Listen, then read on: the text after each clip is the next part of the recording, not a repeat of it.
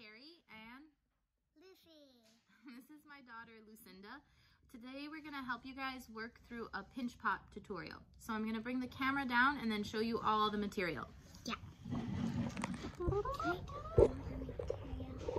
You can tell me about the material, go ahead. So this is like um, melty beads. They feel like hard, but they melt. So I included in each of your kits um, some little beads and these are great because when you press them in the clay they go in but they're super colorful.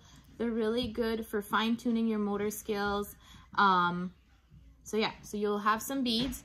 Each student will get a little nugget of clay. And then you're also gonna have, you guys have pretty much all our clay tools right now, so I'm a little low in this bowl, but you'll have a bowl of clay tools. At the end, for teachers, you guys will use the Mod Podge and the brush included, okay? So the first thing you're gonna let your students do is play with the clay. Mm -hmm.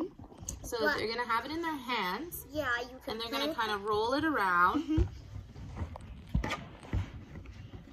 You can do it like this. You can encourage them, then you can pass out to each friend a different tool. Mm -hmm. Um, and you can put the tools in front of them so they can so, explore the tools. There might be some in this, like you can, like, these do stripes. The texture on it? Yeah, texture, and these do, like, dots texture. So they're different tools for each student to play with. And it's important for them to just play with the clay at first. Learn the hand, how it feels. So Lucy right now is just playing with the clay. I don't know what she's doing. Oh, show them. She made a little happy face. But I'll go ahead and show you some simple hand building skills that you can do with each student. So Luce, do you want to listen? Yeah. All right. Can you show our friends how you would make a pancake? Maybe by patting it or, oh, she's using her muscles and smushing it down. And now we have, that's a thick pancake, huh? Thick one so you can just scour it all up. Can you now take that pancake and make some holes into it? How would you make your holes into it? So if you have a big one of these, you could, but these this one's bigger, so these these cut it out. That's how you would make some holes. Can you push it out? Mm -hmm. You can also use your finger to make holes, can't push, you? Push, push, push. You gotta show them. And that's one of my circles I made. And she made some holes in it. Mm -hmm. Now, can you take that um, clay and can you make a snake? How would you make a snake? How would you show our friends how to make a snake? Oh, she's rolling the clay up and down, and up and down, up and down. And she has a snake. Can you take that snake now and make a snail? How would you make a snail?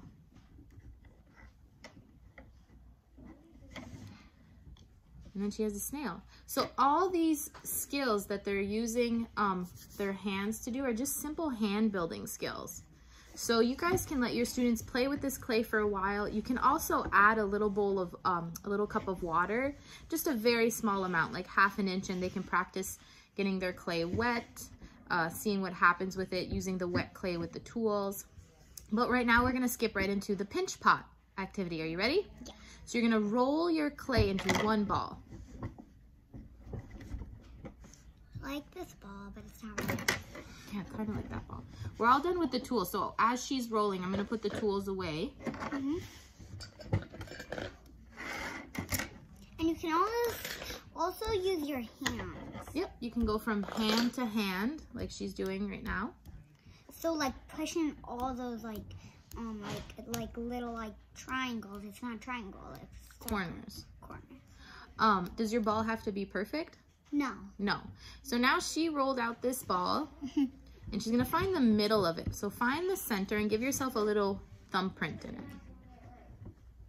Oh, that's not. Thumb, thumb, thumb. So she found the center and as she pressed it in, she gave herself a flat side. Mm -hmm. And that's fine. So now you're gonna push your thumb in a little bit more, not through the clay, but kind of deep. And now we're gonna pinch. Yeah. so with your thumb inside, do you wanna show them? Thumb inside and fingers on the outside, you're gonna pinch, just like a duck. Quack, quack. Oh, almost. You wanna put your thumb inside. So the reason you want your thumb inside is you wanna slowly pinch out your clay. You wanna mm-hmm. slowly stretch it open. And your students might stretch it out till it's really wide, but the wider you make your pinch pot, the less um, the less strong it is. And So if you want wanna- paint this after, you can basically do that. Yeah, you could paint this if you guys wanted to have your students paint it, but what are we gonna use to add some jazziness? This. The melty beads. So Lucy's gonna start taking her beads and she's gonna start pressing them On. On the outside of her pinch pot. She can also put it on the inside. If I was teaching this class, now would be a great time, since I have a flat side, to put your students' initials at the bottom. So, what's your first name? More. Lucy, L. And then what's your last name? Um, W. W. So I would put an L and a W right at the bottom. And I'm just using the back of the brush. You guys can use a popsicle stick, a toothpick. But now I know whose is whose. So she's just gonna work with this, get a few colors on. If they pinch the, um, if they push the melty bead, they have to see what you're doing.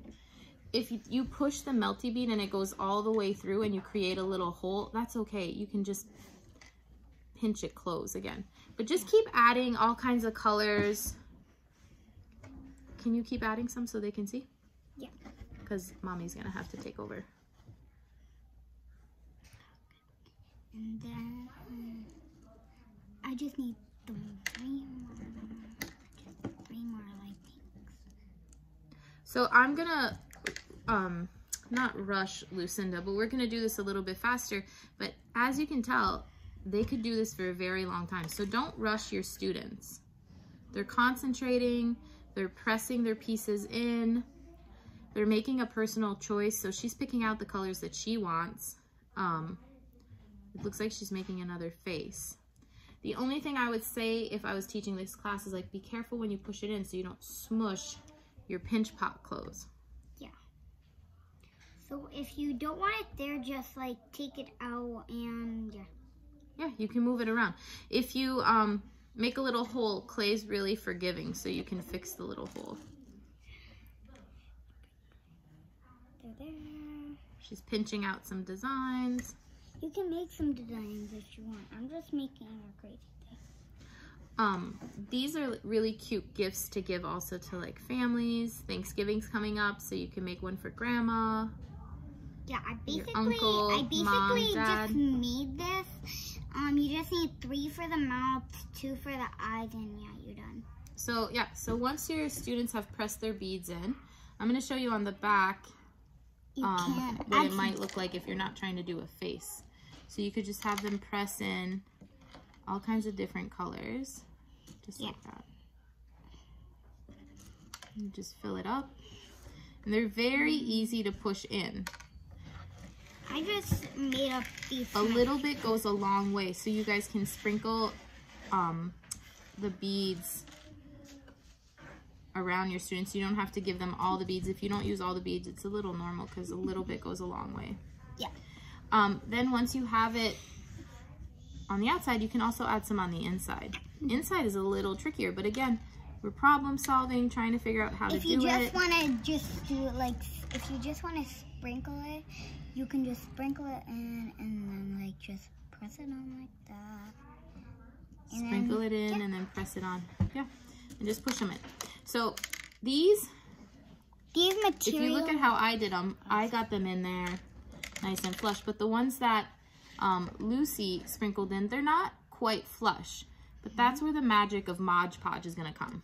So you guys each have a little container of Mod Podge. You can do these when the um, clay is still wet, or you can do it when the clay has time has had time to dry. So what you're going to do, you're going to take your brush. brush. that came in the boxes and you're just gonna Mod Podge your whole little pinch pot. Yeah. I would do it when it's wet just to get it done. And then the next day your students can come back and they can take their little pinch pot home. But if you guys want to do it when they're dry, you can do that too. But as you see, you just Mod Podge. Um, your Mod Podge is white, so It's don't worry. it's like It'll dry. It's like invisible. It'll dry clear, right, Luce? yeah, like the table. Well, the table's gray, but say you get what we're saying. You get what you're saying. So see on the inside with the ones that were just sprinkled in, I'm just glazing right Yeah. on top of them. And then I'm gonna glaze the edge too. Stop moving. You're moving the camera. Just like that. And so then you have your little pinch pot, the initials are on the bottom, and then you can set it aside. So what this activity does is it builds concentration. It helps them fine tune their motor skills. They're making a personal choice when picking out the colors for their mod, um, for their pinch pots. They're working their hand and eye coordination by building up um, the pinch pot. And then also by using the tools, they get to have a really fun time, right? Mhm. Um, so yeah, that's our little tutorial for today. Mhm. Um, do you want to add anything? Like, do you like making pinch pots? Yeah. Um. So, so I make a lot of pinch pots. I made some before, but there's like this um place that you can make lots of pinch pots. Oh, penguin foot? Yeah. Yeah, it's a foot. pottery place in Yeah. um right up in Logan. But anyway, um we're gonna sign off for today. If you guys have any questions, you guys can email us. Um, but yeah, these are great little gifts to hand out for the holiday coming up. So it's what our little Cute. series is gonna be until the holidays are over is just making little thoughtful things. So have a great day. Bye. Bye.